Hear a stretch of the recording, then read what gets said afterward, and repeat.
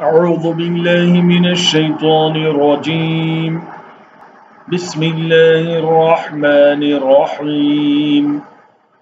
مثل الذين ينفقون أموالهم في سبيل الله كمثل حبة أنبتت سبع سنابل كمثل حبة أنبتت سبع سنابل في كل سنبلة مئة حبة والله يضاعف لمن يشاء